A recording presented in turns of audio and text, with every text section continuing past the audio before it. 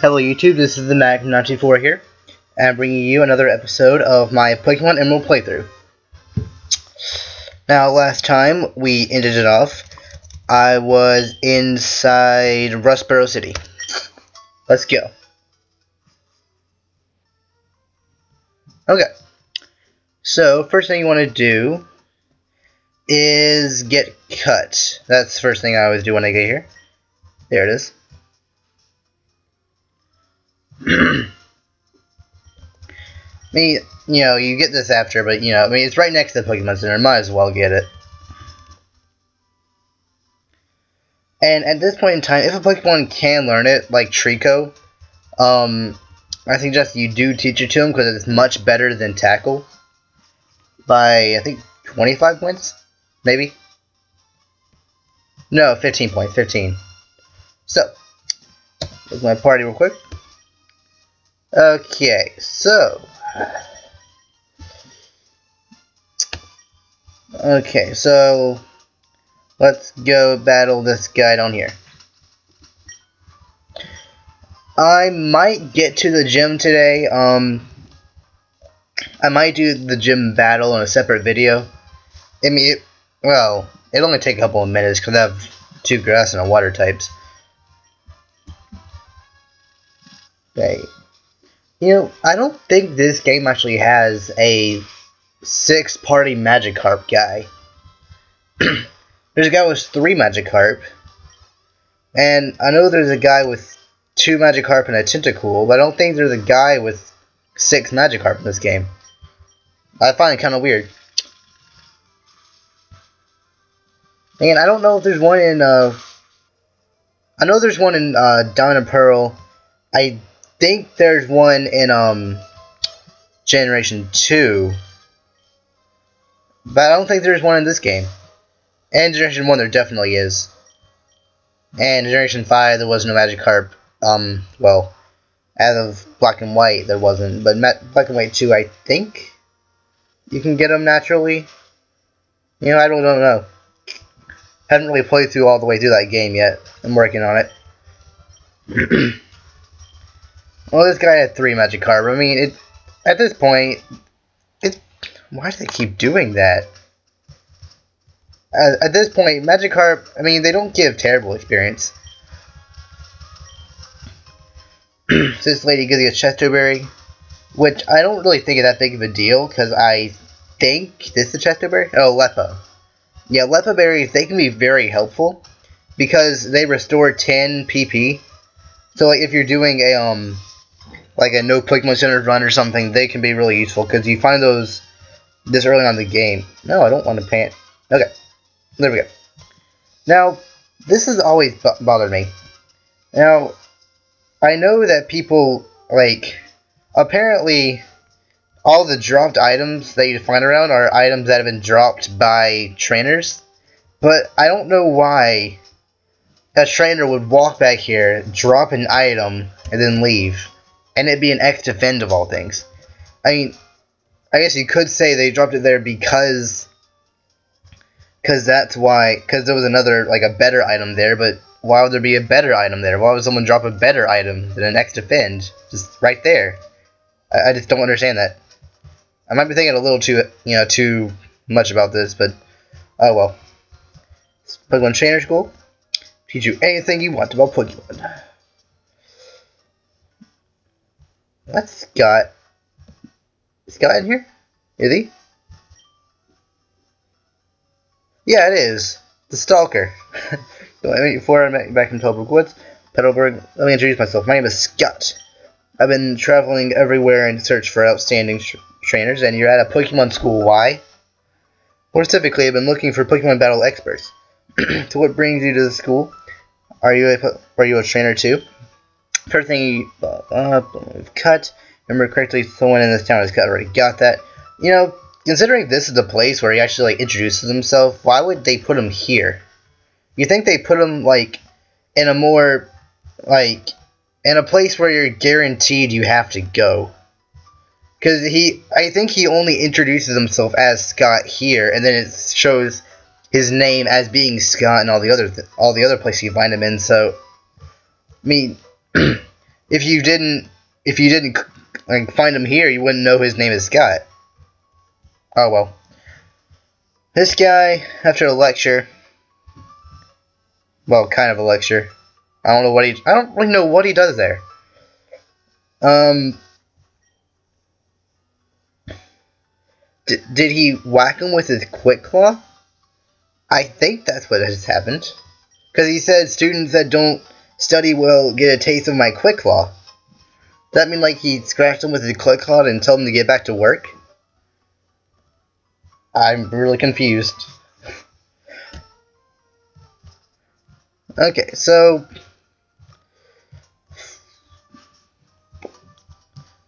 let's see, what's in this house? Anything in particular? Even the Pikachu to a Pikachu, it seemed pointless. Is that Pikachu really named Pikachu? Pikachu, Pik. Okay. Yeah, I'm sure we've all done that before. Like, give a Pokemon the name that it actually has, like, like naming a Pikachu Pikachu. Um, I think the first time I ever played a game, I named my Treecko Treecko for no apparent reason.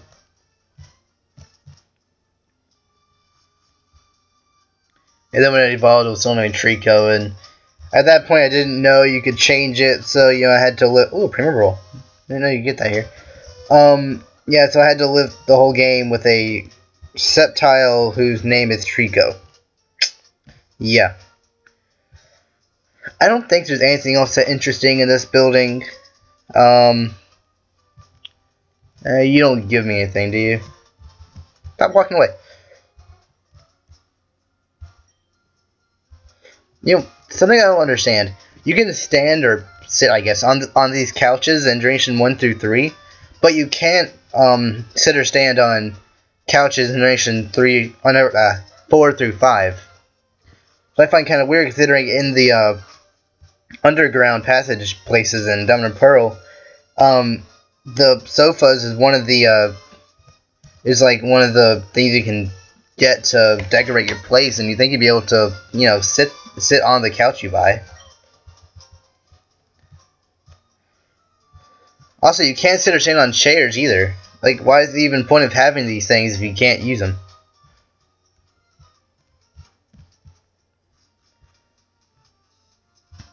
Oh, this guy right here. Hello, welcome to, welcome to the Pepper household? Okay. I have a question for you. Have you ever babysat? You see, you see, the new fathers are raising a child is all new to me. I have a problem. My daughter, Walda. Wow. You are terrible parents for naming your daughter Walda. And I'm sorry for all you people out there who named Walda, yet probably not. I never never heard anyone call Walda. Pip, so tell him the words. Well, cantaloupe, Phil? I don't know, I just wanted to say cantaloupe. First one that popped in my head. Cantaloupe. Probably spelled it wrong, but you know, it doesn't really matter. Cantaloupe. see, gonna try, shall we? Cantaloupe, cantaloupe. Hmm, she's not smelling at all. Maybe Walda's one serious child. I don't know if you actually have to like, if there's a specific word you have to give him in order to make the daughter laugh, and then he'll give you something. I've never really tried that. Like, I never looked it up or anything. Um, I might after the video's done. So went in there, went in there. Okay, here is the trading place, right? Uh, okay. So, I'll trade you my Seedot for a Ralt. See, this trade actually makes sense. Because, no, but, um, because you can't find Seedot in this game at this point. Um, the only way you can find him is if, if you get, after you beat the game, there's mass outbreaks. Um, but, I mean, a Ralts, which is like the rarest Pokemon in that route, the route, uh, for Petalburg. And then you're asking for a Pokemon not even in this game that really can't really do much in battle at this point. It's better, I would say it's better in the sense since the diversion exclusive. Um, it's better uh, than the uh, trade Ruby and Sapphire. Considering that was a trade for a uh, a Slakoth for a Makuhita. That's just bad right there. Like, Makuhita aren't very good. Yes, they can help you in the gym. Wow. But, I mean, they don't really, like, I don't even think they learn arm thrust until level, like, past level 15. So they really can't help you that much.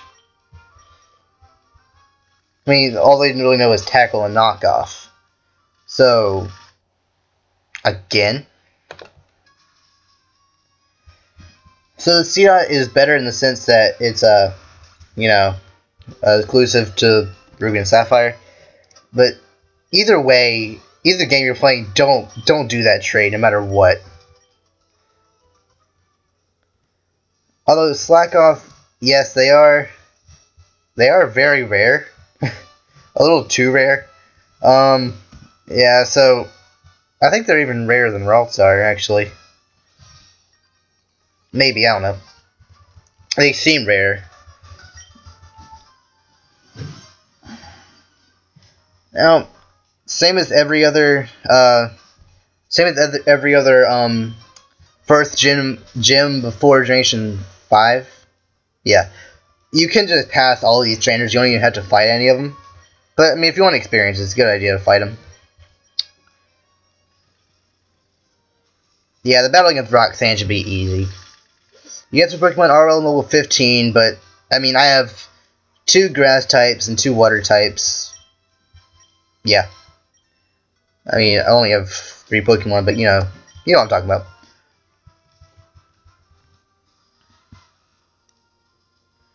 And Water Gun should take you out.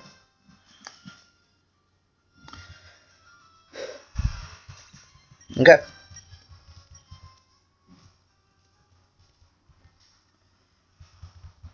Uh, that Geodude's gonna die to Bullet Seed. That Geodude's gonna die to Water Gun. And basically rinse and repeat for the actual, the actual gym leader.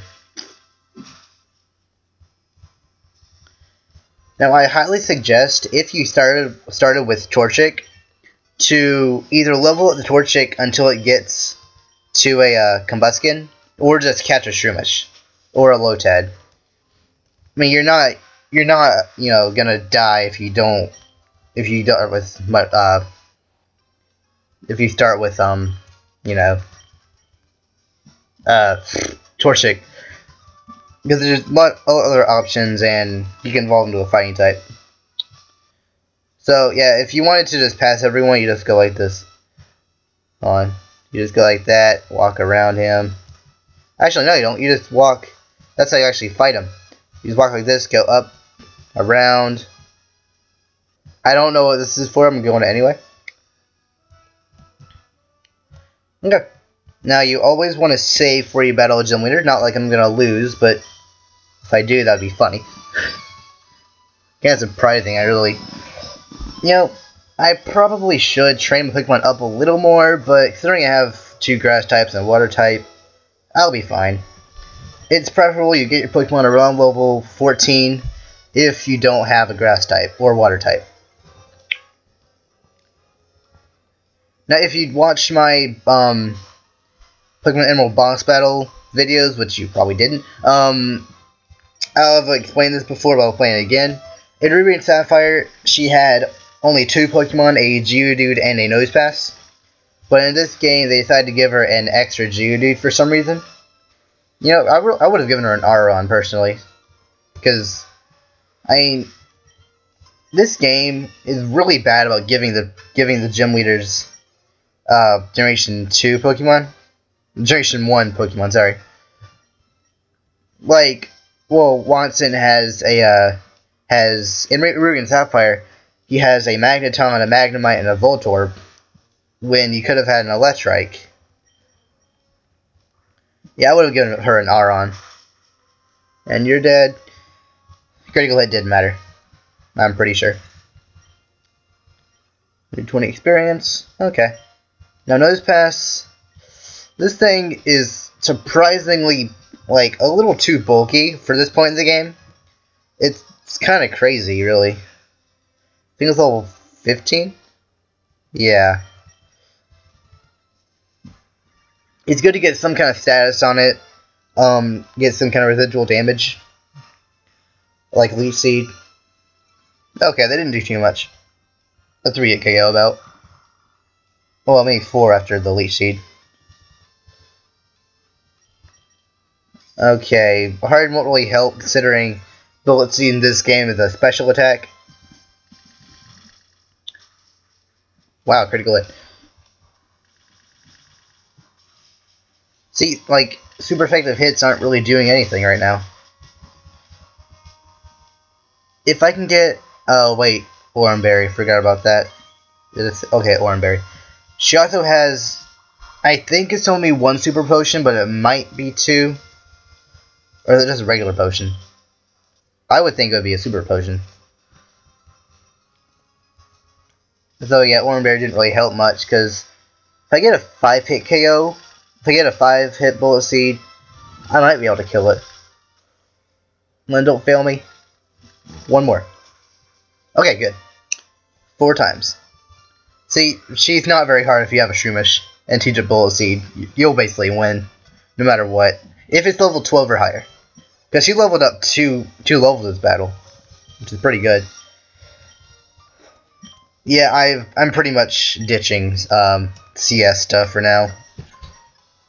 You know, I've used Ludicolo before. They've just never really done much for me.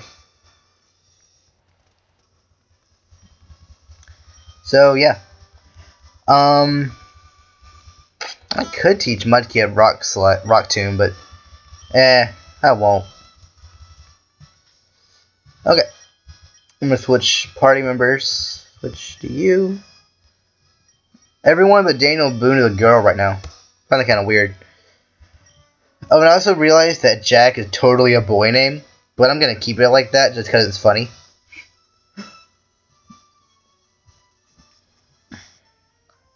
Okay, so walk this way. Get out of my way. Wait, please. Don't take my goods. Yeah. So, I now have the, what is it, stone badge? You can't actually, I don't get why you can't check what the name of the badge is. You just have to remember it. I believe it's stone badge. Oh well. So, next video, I'll defeat that Team Aqua grunt out there. I think it's the same same grunt that you battled in Petalburg Woods, I'm not mistaken. So, yeah. Um, rate, comment, subscribe. Bye.